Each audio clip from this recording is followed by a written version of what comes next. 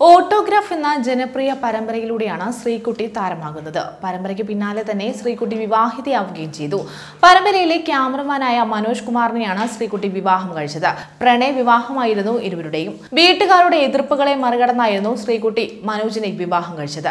ഇപ്പോഴത്തെ തന്റെ യൂട്യൂബ് ചാനലിലൂടെ തങ്ങളുടെ പ്രണയകഥ പങ്കുവയ്ക്കുകയാണ് ശ്രീകുട്ടി. സീരിയൽ സെറ്റിലെ കളിയാക്കലിൽ നിന്നാണ് പ്രണയം ഉണ്ടാകുന്നതെന്നും അത് പിന്നീട് വിവാഹത്തിലേക്ക് എത്തുകയായിരുന്നുവെന്നും പറയുകയാണ് ശ്രീകുട്ടി. പ്രണയം വിവാഹം വിവാഹ ജീവിതമൊക്കെയും തുടങ്ങുന്നത് ഓട്ടോഗ്രാഫിന്റെ ലൊക്കേഷനിൽ നിന്നുമാണ്. ഇപ്പോഴത്തെ തങ്ങൾ ഒന്നായിട്ട് പന്ത്രണ്ട് വർഷമാകാൻ പോകുന്നുവെന്നും തങ്ങളുടെ വിവാഹ ജീവിതം ഇപ്പോഴും വിജയകരമായി കൊണ്ടുപോകുന്നു എന്നതാണ് കാര്യം. ഒരു പ്രശ്നങ്ങളുമില്ലാതെ വിവാഹ ജീവിതം പോവുകയാണ്. താനും അദ്ദേഹവും മകൾ വേദയും കുടുംബമൊക്കെയായി സന്തോഷത്തോടെ പോകുകയാണെന്നും ശ്രീകുട്ടി പറയുന്നു.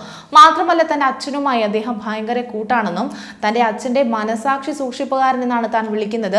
അച്ഛനുമായി അത്രയ്ക്കും കൂട്ടാണ് ഭർത്താവെന്നും ശ്രീകുട്ടി പറയുന്നുണ്ട്.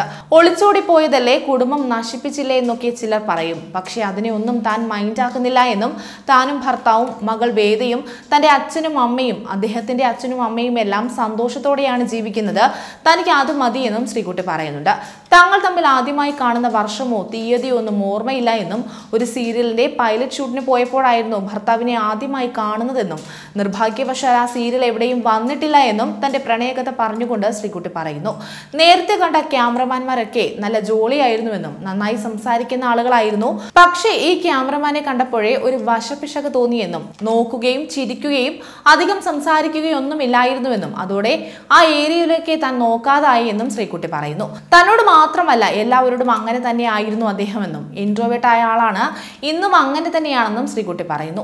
എന്ത് ചോദിച്ചാലും ദേഷ്യമായിരുന്നുവെന്നും താൻ പുതിയ ആളാണെന്ന് പോലും നോക്കാതെയാണ് ലൊക്കേഷനിൽ വെച്ച് ദേഷ്യപ്പെട്ടിരുന്നതെന്നും ഒരാഴ്ചയായിരുന്നു ആ ഷൂട്ട് പിന്നെ കാണുന്നത് അക്കരെ ഇക്കരെ എന്ന സീരിയലിന്റെ ഷൂട്ടിനായിരുന്നുവെന്നും എന്നാൽ ആ സീരിയൽ തീരുന്നത് വരെയും അധികം സംസാരമൊന്നും ഉണ്ടായിരുന്നില്ല എന്നും ശ്രീകുട്ടി പറയുന്നു. പിന്നീടാണ് ഓട്ടോഗ്രാഫിലേക്ക് എത്തുന്നത്. അതിൽ തുടക്കത്തിൽ വേറെ ക്യാമറമാൻ ആയിരുന്നുവെന്നും പിന്നീട് ക്യാമറമാൻ മാറി പകരം വന്നത് അദ്ദേഹമായിരുന്നുവെന്നും അതിൽ താൻ മാത്രമാണ് അദ്ദേഹത്തിന്റെ കൂടെ വർക്ക് ചെയ്തിട്ടുള്ളത്. താൻ അദ്ദേഹത്തെക്കുറിച്ച് അവരോടൊക്കെ പറഞ്ഞുവെന്നും ശ്രീകുട്ടി പറയുന്നുണ്ട്. ഓട്ടോഗ്രാഫിന്റെ ലൊക്കേഷൻ തങ്ങളുടെ വീട് പോലെയായിരുന്നു. ഭയങ്കര ജോളിയായിരുന്നു. എന്നാൽ അദ്ദേഹം വന്നതോടെ ഇനി ഒരു രസം ഉണ്ടാകില്ലെന്ന് താൻ എല്ലാവരോടും പറഞ്ഞുവെന്നും പക്ഷെ താൻ പറഞ്ഞതിന്റെ നേരെ ഓപ്പോസിറ്റാണ് സംഭവിച്ചതെന്നും ശ്രീകുട്ടി പറയുന്നു.